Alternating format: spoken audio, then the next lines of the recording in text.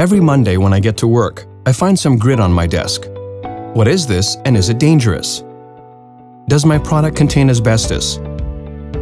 Does my installation contain ceramic fibers?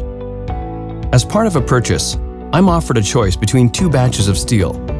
Which batch has the best quality? Four very different questions. One way to find the answer. Scanning electron microscopy, or SEM. SEM uses electrons to determine the components of a material. It can also magnify objects up to 600,000 times and measure particle sizes.